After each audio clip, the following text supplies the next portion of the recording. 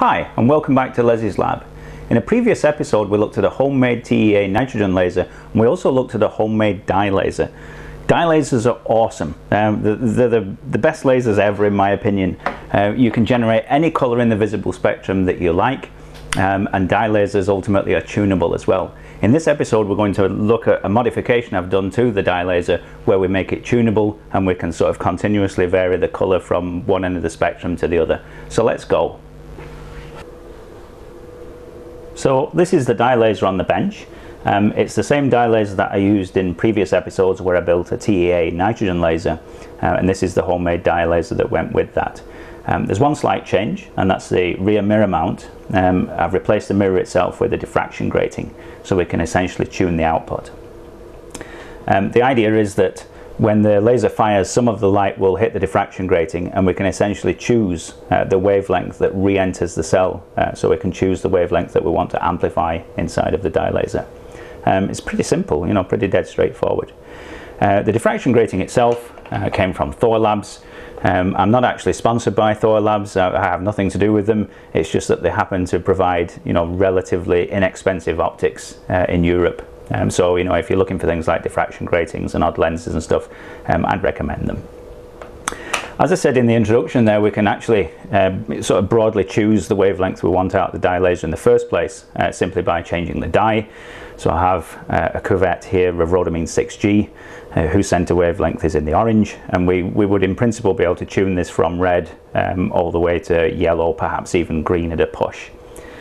Uh, the dye we're actually going to look at today is rather special. It's the dye that's in the dye laser itself. Um, this is 7-hydroxy-4-methyl coumarin. Um, and if we shine an ultraviolet light on it, it just looks blue. Uh, it doesn't look very exciting at all. Um, if we add um, a, a, drop or two of ammonia uh, to the dye solution, uh, still nothing much changes. It looks like it fluoresces a little bit brighter, but nothing else exciting appears to happen. Uh, but the tuning range of this particular dye is, is the most impressive tuning range that there is. Um, we can tune this from the ultraviolet, so about 390 nanometers, um, all the way to 570 nanometers, which is for all, it's green. Yeah? So we, we, can, from a, from a visual perspective, we can tune from violet to green, which is really, really impressive. Um, it's actually uh, rather difficult to see um, when, when, you, when you tune um, rhodamine 6G from red through to sort of a, a dirty yellow uh, color. It's kind of difficult to spot the changes as you're going. Um, especially for me, I'm actually red-green colorblind, uh, so it sucks to be me.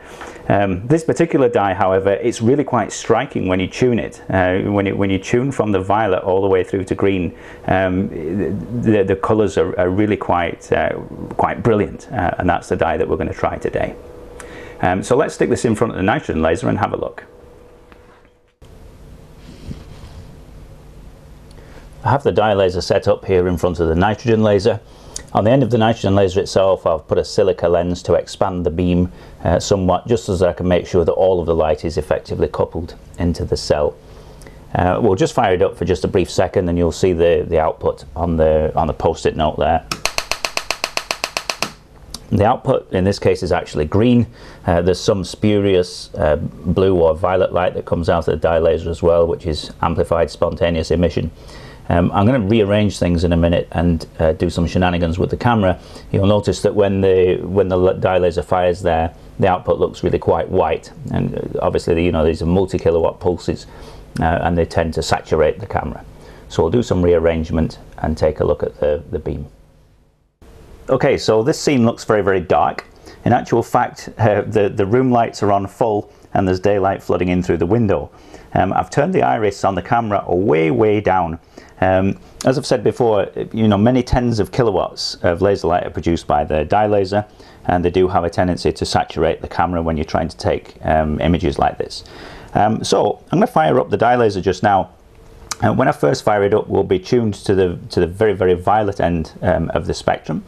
Um, and as the video progresses, I'll start to tune towards the green. So let's fire it up. So we should be able to see um, a violet spot on the target and I'll begin to tune. Now as I'm tuning the output will get quite bright and it will saturate the camera a wee bit. But now we're well into the blue and I'll just keep turning we're getting a lighter blue.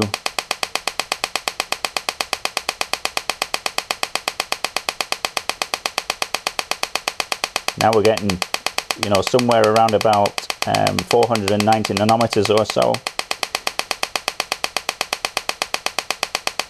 We're getting a sort of a turquoise colour now. And then a blue-green. And as we keep turning, we'll start working our way into the green.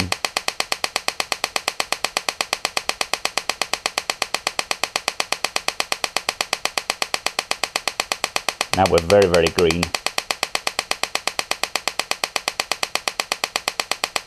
And I think that's about as far as we can go.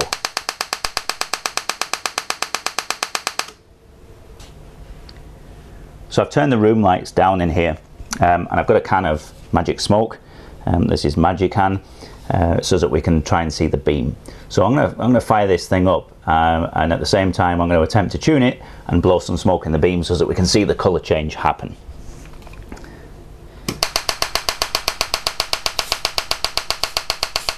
So we're at the violet end just now and we'll begin to tune towards the green. So now we're well into blue. Now we're going blue-green. And then finally green. I think that's about the tuning limit. I think if we go any further, we'll lose the beam. There it goes. I'll, I'll tune back the way. There's green again.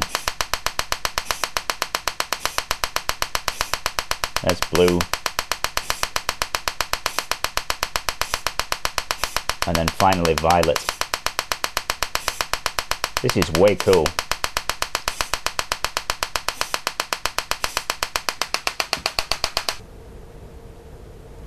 What you're looking at here is a 30 second long exposure photograph of the dye laser being tuned from green through to violet.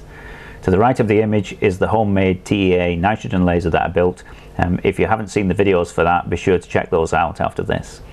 Uh, next to this is a beam block to deal with spurious reflections. So there's reflections um, appear from all, all sorts of places off the sides of the cuvette and off the diffraction grating, and that's just to deal with those.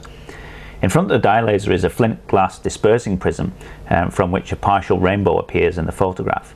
The dye laser is being retuned after every single shot. Um, since the angle of dispersion is dependent on the wavelength of light, a rainbow effect is produced over time. This makes for a really cool looking photograph. Thanks for watching this episode of Les's Lab.